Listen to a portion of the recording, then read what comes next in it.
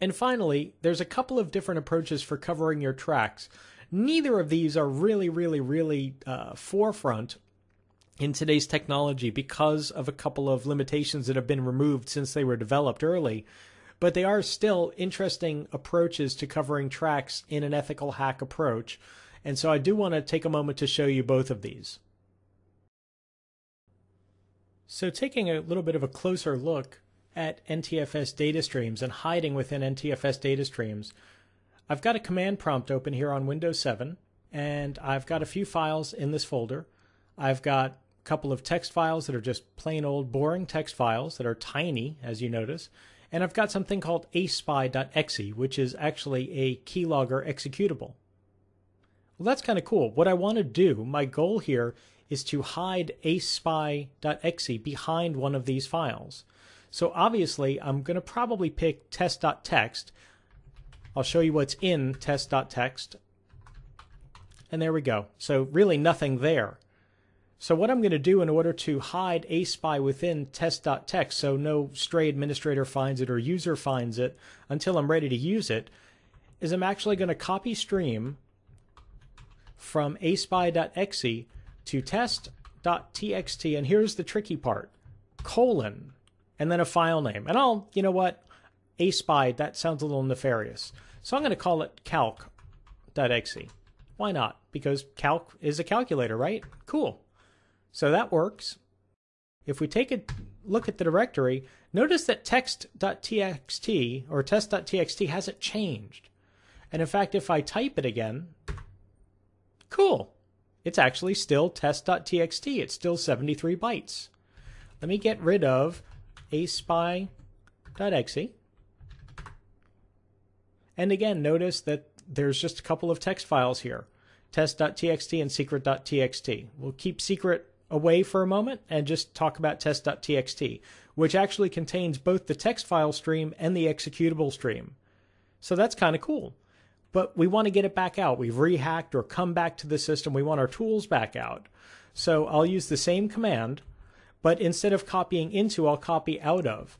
So I'll copy from test.txt colon calc.exe to aspy. And it doesn't really matter file name, but I'll keep it simple there. And then check it out. We've got our larger, much larger file back, which is actually just ready to go and run. That's all there is to hiding files with file streams in NTFS. NTFS, recall, is the most common file system out there. It's been the default in Windows for quite a while, and this is just regular old Windows 7. Virtually any version of Windows since Windows 2000 will work as long as the hard drive is NTFS. You probably want to know what NTFS data streams are. You may have heard of them, and and really, if you think about it, they're easy to understand when you know that NTFS or the NT file system, the file system on, that stores uh, files on the hard drive, folders on the hard drive, is basically just a database, and a database that can actually have one record entry. So let's call it mydocument.txt. Typically, it's going to have one data stream. It's going to have one chunk of data behind it but because it's a flexible database, NTFS allows us to store more than one data stream behind a file. You can actually have two, three, a dozen, as many data streams as you want behind a single file in the file system. Most tools only will show you the first data stream, or by default will only access the first data stream. So if you can put maybe some nefarious code or some hacker tools in a data stream behind a legitimate file or a data stream behind a file that you don't think anyone will really notice or care about or delete, well, that's fantastic. That's exactly the kind of, of way that you want to hide your tools, to hide your data. Fantastic stuff. And it works really, really well with built in functionality that's been in Windows for quite a while.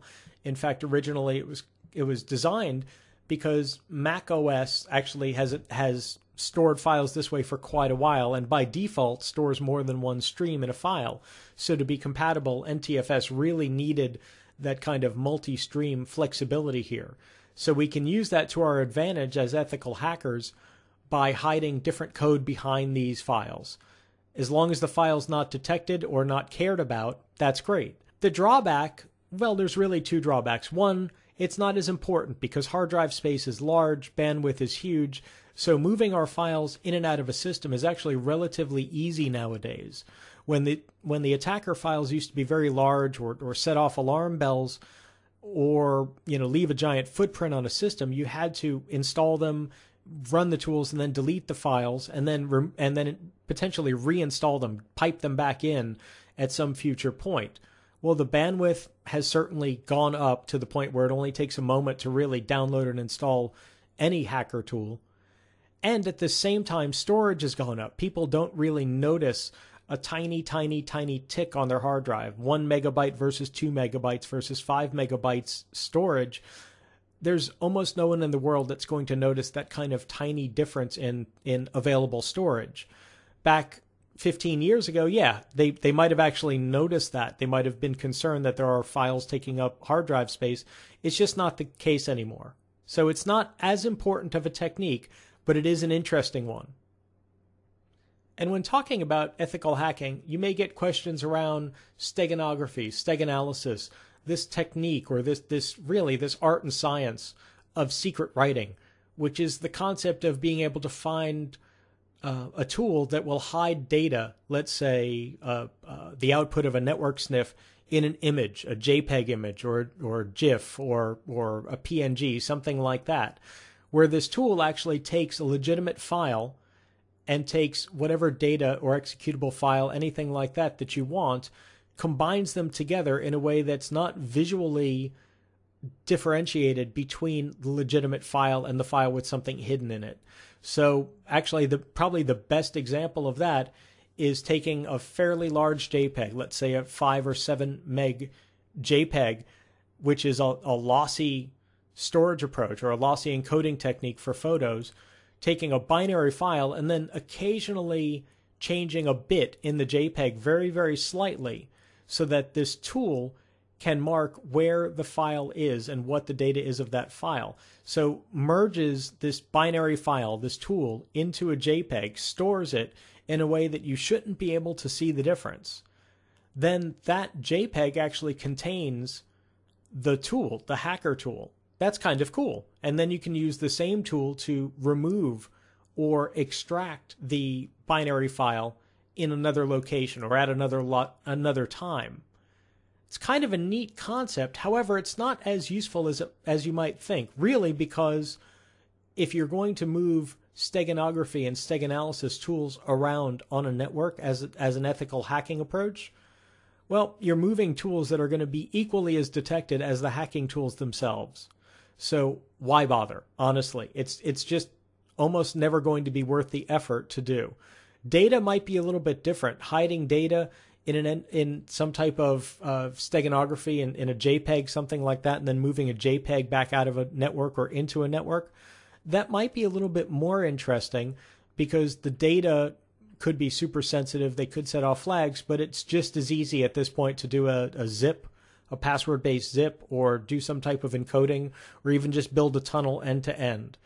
So this practice isn't in as common use, but the tools are still out there and it's still an interesting thing to explore if you feel like it.